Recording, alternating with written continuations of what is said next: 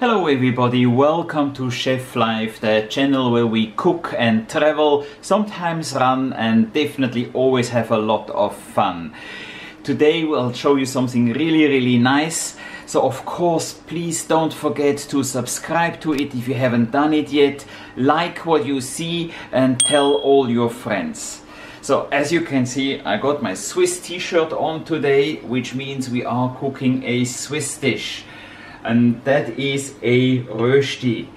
Rösti is a potato dish that can be vegetarian or plant-based or just as it is. Super important for us Swiss. It is a national dish and we're super proud of that. So let me show you how it's done.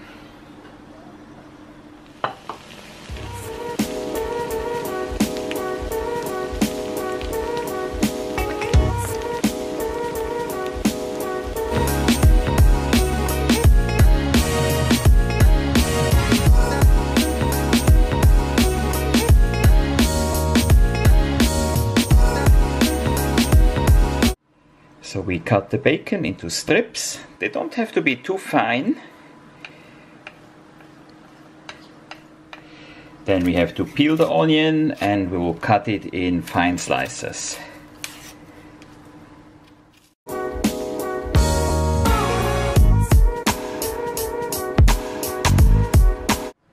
We have to peel the potatoes. I do like a potato peeler like this because it just goes so easy. Now we grate them on the Rösti grater. And you see it comes out like this.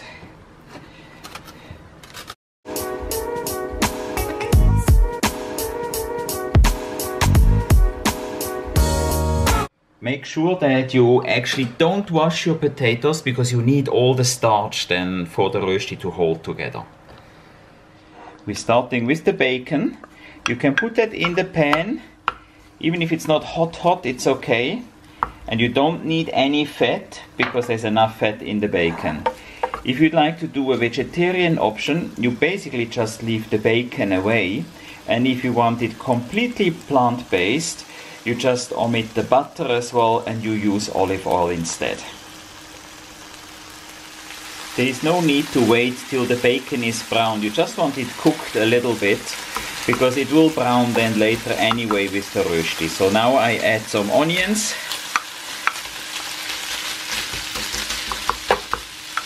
And we fry that a bit longer.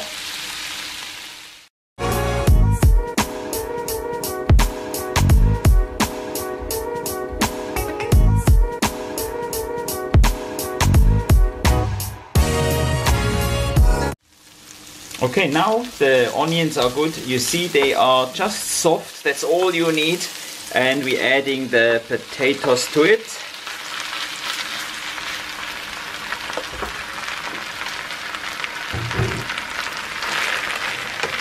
And we mix everything nice.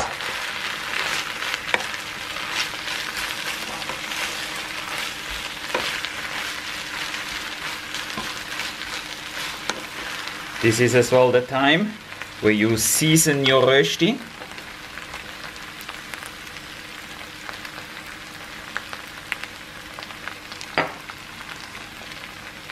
Not too much salt because you have bacon in it.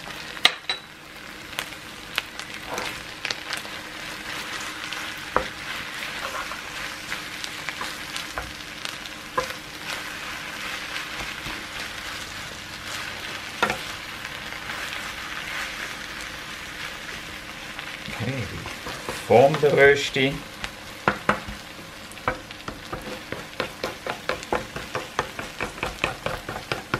And now very very important, you have to go down with your temperature because you want to have a slow roast because you want the rösti to be all the way cooked through and you want to have it nice and brown.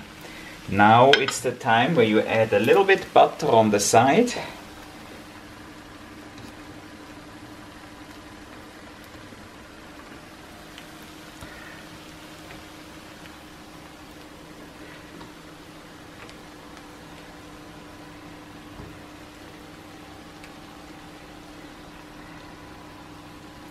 and you let it nicely roast for about 8 to 10 minutes without moving too much. The only thing you can do is a little bit like that. Make sure it's nicely put together. Oh, it smells beautiful.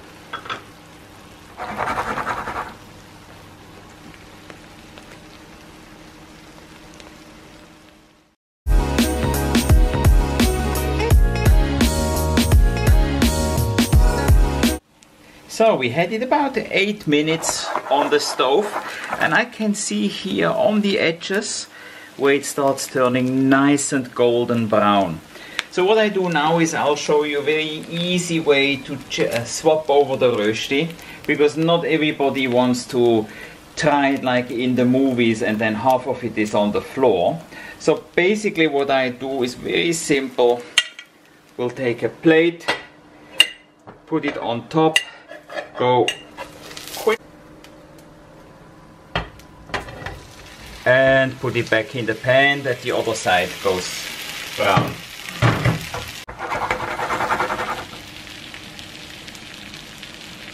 Beautiful already, I can't wait to eat it. Now it will take another about 5 to 8 minutes to the other side to get crispy as well and to finish it cooking. So fantastic, it is finished and we will plate it now on a plate. But just to let you know in Switzerland often you actually find the rösti served in a pan. Often we put some ham on it then some cheese mainly mountain cheese gratinated and serve it with fried eggs. So that's a whole meal.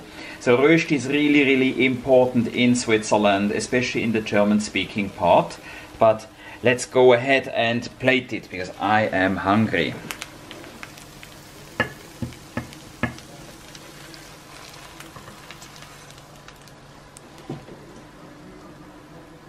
Voila! And we're ready for our rösti for tasting. Oh, it looks good.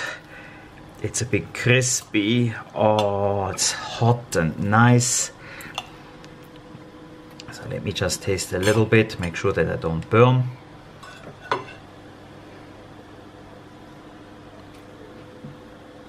Mmm, mmm, mmm. Very nice, very hot, very nice. The bacon is a bit crispy, it's not salty at all, but nice and flavorful.